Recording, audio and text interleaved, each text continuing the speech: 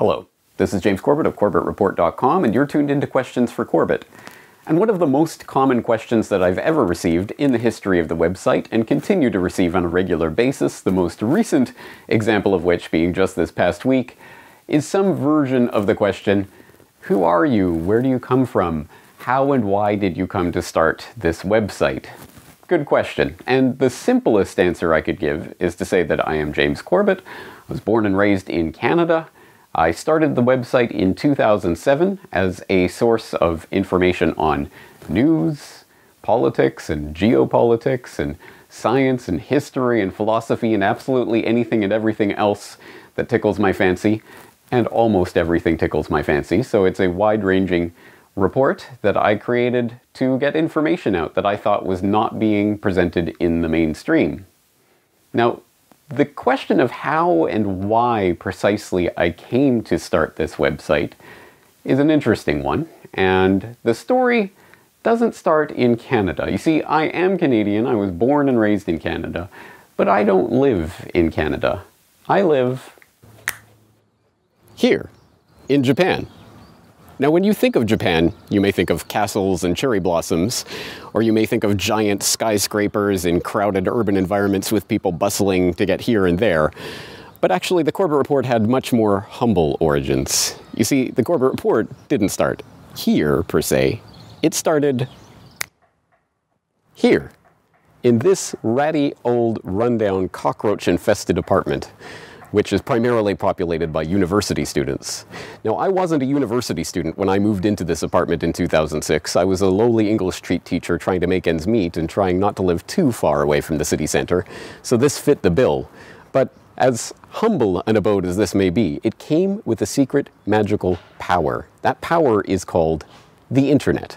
You see, it was the first time in years that I had an internet connection in my home and so I made the most of it. I watched documentaries, I kept up with the latest news, and I discovered a lot of interesting information about history, about politics, about society, and science and philosophy that I had never encountered in all my years of public education or all my years trying to stay up with the latest news from the mainstream news networks. And this amazing secret power of the internet not only gave me the power to collect and gather this information, but also to broadcast it to others. It empowered me with a voice. Me, a lowly English teacher in a ratty old rundown apartment on a laptop with a $20 microphone, was able to broadcast my voice to dozens, then hundreds, then thousands, eventually millions of people around the globe. And that incredible empowerment of the average individual has always been the promise of the internet. That promise is that it doesn't take million dollar recording studios and uh, vast infrastructure for communications around the world and satellite uplinks and other fancy technology and equipment in order to get your voice heard. It can start somewhere much more humble, like here, in my living room in my home in Japan. Yes, I am a living, breathing testament to the fact that the average, ordinary person really does have a voice that really can be heard around the world by millions of people. It is a remarkable, incredible time that we're living in, something without parallel in the course of human history.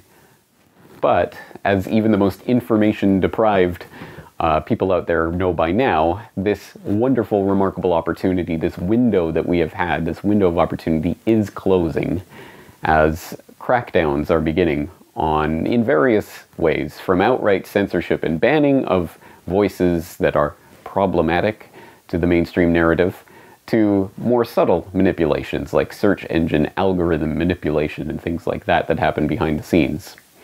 At any rate, that is the story of how and why I came to start this website, and I hope it does inspire others to begin their own journey into exploring how they can put their voice into this mix. Because as I always say, the point is not simply for me to expound from on high and tell people uh, how the world really works. It's for us to work together towards some sort of better shared understanding from our different perspectives.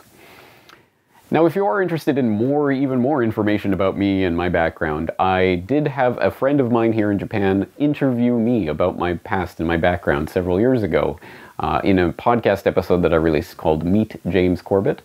Uh, so I will recommend that if you haven't seen or listened to that before. And I've also talked at length about what it is that I do uh, at the Corbett Report in a number of presentations, including one that I gave at the FOSSA conference in Lille, France, back in 2013. I gave a TEDx uh, lecture at Groningen uh, in Netherlands uh, in 2014, and I have also talked about it at uh, Kyoto's Ritsumeikan University. So I will also link those if you are interested in seeing even more about the Corbett Report and how it functions. Thank you for your interest in myself, but more importantly in the website, and even more importantly in the information itself, which is what this is all about. I hope that answers your question.